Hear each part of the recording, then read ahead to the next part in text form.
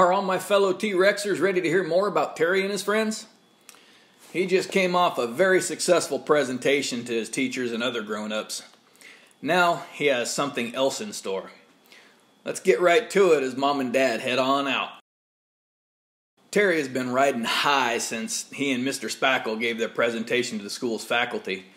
One of the teachers, Mrs. Slocum, gave him some feedback and suggestions for sharing with the student body. After making those additions and changes, he was ready for the big day, and today just happened to be that day. During lunch, Terry and Mr. Spackle gobbled down a sandwich and an apple, then went to work setting up their cue cards that help explain various aspects of T Rex and associated disorders. They defined what a tic is, how it feels, and the different types, being motor and vocal. They also showed the difference between simple and complex tics, and even something they called mental tics. They made sure they covered as much as they could so that when they were done, everyone would have a good knowledge and understanding of Tourette's syndrome. Ozzy and Andy even decided to jump in and included some slides of their own that described the disorders that they have, each have and how they're affected.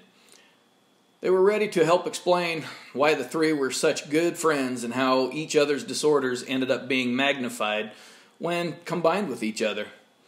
This presentation really meant something to the three and Mr. Spackle. It was their moment to shine.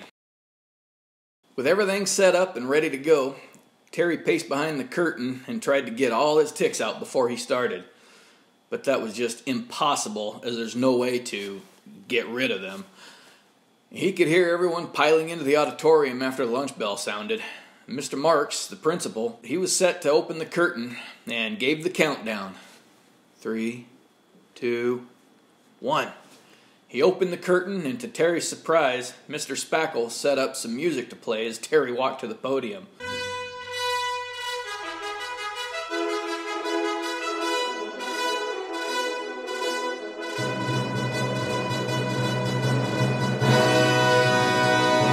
Wasn't expecting all that fanfare and was slightly thrown off a bit. He gained his composure. Then he started with the presentation. There were a few hecklers in the crowd, but some swift action from the teachers put an end to that.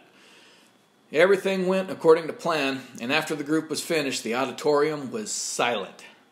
Then, slowly, and to his surprise, a slow clap began. And it was from the older kid who started shooting spitwads at Terry on the bus a few weeks ago. Within seconds, the entire auditorium was filled with thunderous applause. Their presentation changed everyone's perception of Terry and his friends. Instantly, they transformed from outcasts into heroes. That doesn't always happen, but the three friends and Mr. Spackle were amazed at the reception they had from everybody. They exchanged high fives and fist bumps on stage while the applause settled down. Terry looked out into the audience and noticed the spitballer walking to the stage. He wasn't sure what to think as the older kid jumped up on the stage. He walked up to Terry and he whispered something to him. Then he grabbed the microphone. With tears in his eyes, he gave a short speech. My name is Biff. A couple of weeks ago, I treated Terry horribly on the bus and I was shooting spitwads at him. I thought it was funny and cool to pick on someone smaller and different. I was wrong. And Terry, I want to apologize to you in front of everyone. I'm sorry for humiliating you and treating you like you didn't matter. You're a bigger person than me and than all of us. What you go through every day is way more than I can comprehend or deal with myself. The two shook hands and Terry accepted his apology. Biff grabbed Terry's hand and raised it in the air like the winner of a boxing match. Here's a real champion. If you ever need anything, you give me a shout. Nobody will ever pick on you again as long as I have anything to say about it. With that, a new beginning emerged for Terry, his friends Ozzy and Andy, and Biff. And something else was in store for Mr. Spackle as he was blindsided with a hug from Miss Osgood. But that's another story. As mentioned before, Being brave and stepping forward to share information with others isn't easy, but it can make great changes in many people, including oneself. This story may seem a little dramatic or far fetched, but many times we do see drastic changes in someone's perception and attitude when they know the facts.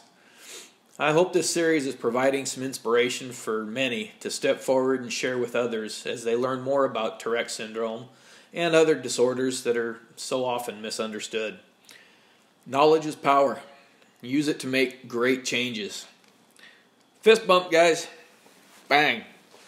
This is Megalodon saying bye for now. Later, Tater.